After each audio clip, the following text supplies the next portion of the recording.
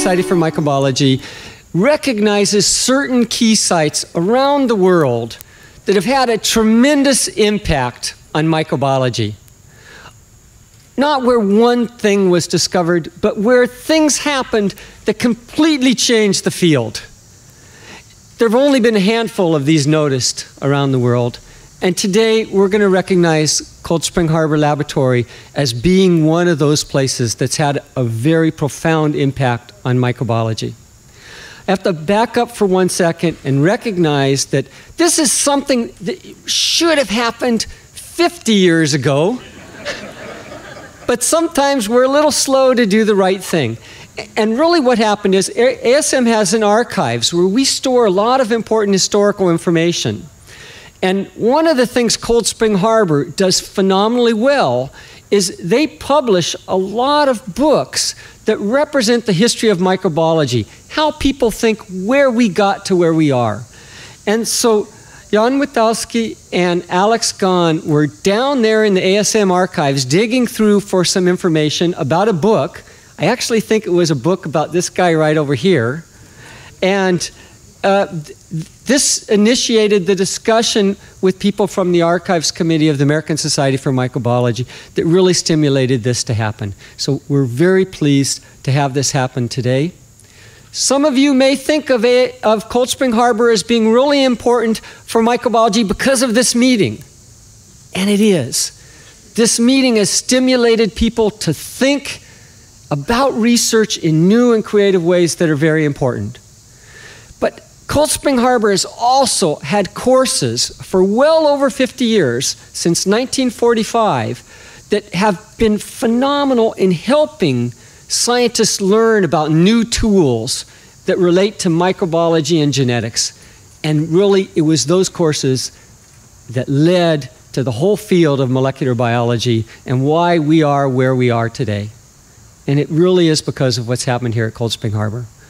But there's also some other stuff that, that you really should know about, and many people don't. And that is basic research in microbiology here has been phenomenal, and it set the stage for our field.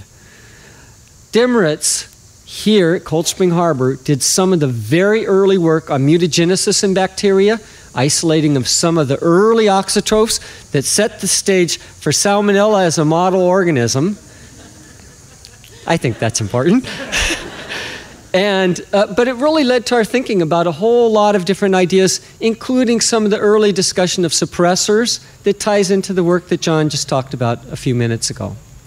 In addition, during the war, Cold Spring Harbor was instrumental in the development of ways of improving the production of penicillin. And so it's played a, a role in microbiology from many, many, many different perspectives. And although this meeting won't be here in the future, I hope deep in my heart that microbiology will have a strong place here at Cold Spring Harbor in the training of people here for many years to come. So, what we'd like to do is we'd like to present to Bruce Stillman this plaque that will recognize Cold Spring Harbor Laboratory as a milestones in microbiology.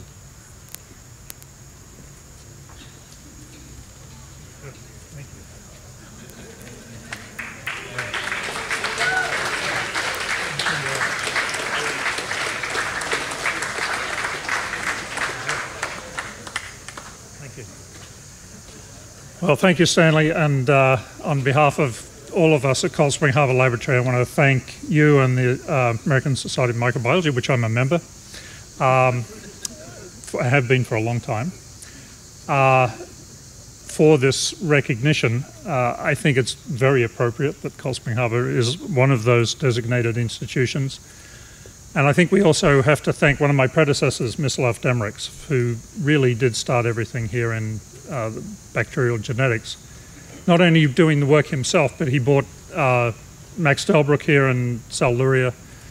Uh, Max ended up starting the course in 1945, as Stanley mentioned, that had an enormous impact and still does. Uh, the bacterial, advanced bacterial genetics course is still running and we're still going to keep it going. Um, that course uh, and its predecessor, the phage course, brought numerous people here and uh, I did really did help to create the field of molecular biology. But not only that, we have other um, recognition of our contributions to uh, bacterial genetics and phage genetics uh, that will exist at Cold Spring Harbor for many years. Not only do we have the building across the street here named after Milislav Demerec, but behind it, a newly renovated building is the Hershey Building, named after Al Hershey, of course, his famous work on phages.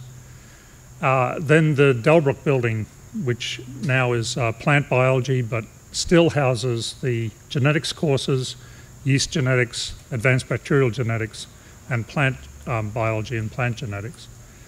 And uh, of course, the now famous Szybalski room in our newly renovated library, uh, honoring Wacław Szybalski, who worked here some years ago. And he uh, also has been coming, I think, there's, I don't think there's anybody that beats your record of coming and being a loyal adherent to coming to Cold Spring Harbor meetings. So we should also honor Wacław as well.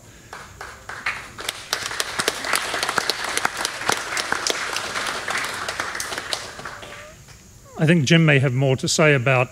Um, Jim Watson came here as when he was a graduate student with Sal in 1948, I think it was, and uh, that started Jim's love of Cold Spring Harbor.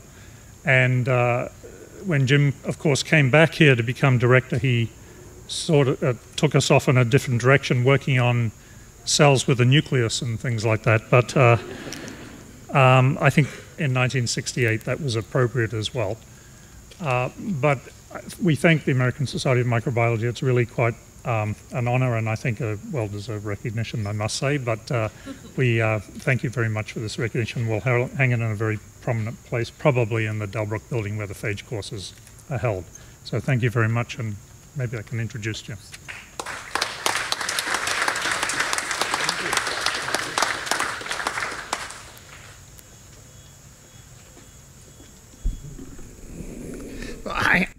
I guess uh, I have had a bad cold, so I'm not going to speak long, but uh, we, we, certainly deserve it. Uh, and uh, that uh, this is the you know first moment I've learned that uh, this meeting is transferring to more exciting Madison, Wisconsin. The yeast meeting also left us, I think, for sort of similar uh, culinary reasons.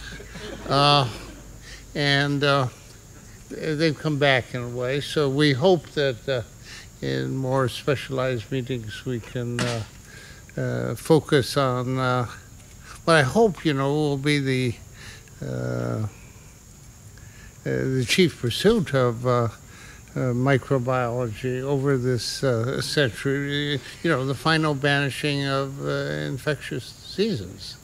Uh, the fact that we have these antibiotic resistant bacteria in the hospitals and no one seems to have done anything or almost nothing is uh, a bit scary. And whether it's the same reason that uh, we haven't won the war against cancer that all the good scientists are spending all their time applying for grants for getting their papers published instead of focusing, you know, on the big objective of, uh, you know, uh, TB should be conquered. You know, why not? And uh, uh, I, I, would hope, as I told John after his talk, that uh, you know the, the, book that really got me first into science is Microbe Hunters and uh, it's a shame there isn't a new edition. But I think, uh, you know, to have a new edition, you know, hospital infections have to go and so on. And then we'll have new heroes. Uh, you know, great as John is, he's not a public hero. And uh, we just need public heroes, you know, who cure disease and uh, make people like science. So, uh, I, you know, I don't think they're ever going to like us because we're scientists. Uh, and uh, because, you know, we seem too focused. Uh, but uh, if, we really want to ensure, you know, that uh, 100 years from now science is thriving, uh, I think we better focus on some practical things. This, you know, sounds, uh, you know, that I don't like pure science. Uh, John's talk made me feel that there's probably at least another 40 years of biochemistry. you know, uh, someday we're going to actually, you know, know most. What? no, I, but I mean, you know, clearly we don't know a lot about redox potentials and so on. So there's a lot more to be discovered. But, uh, uh, you know, I, am just not sure we can count on it uh, in the same way we counted on it in 1945.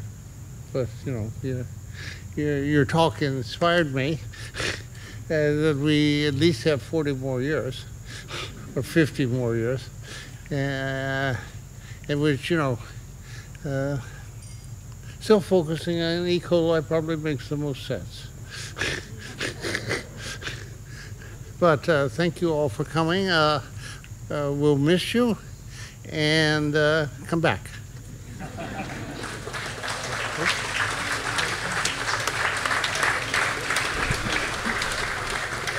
We're, we're very close to the end, but two things. The, this happened because of a lot of work from people on the staff at the American Society for Microbiology and Cold Spring Harbor Laboratory, really working together. And I hope what this will do is bring Cold Spring Harbor Laboratory and the ASM even closer together in the future. So th that really is a goal. Those of you who haven't seen it, there was a very nice segment of This Week in Microbiology, recorded here live today at noon.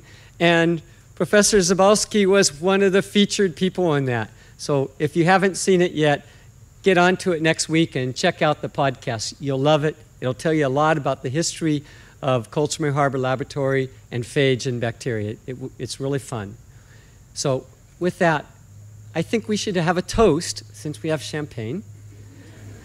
So, here's to the bacteria and phage.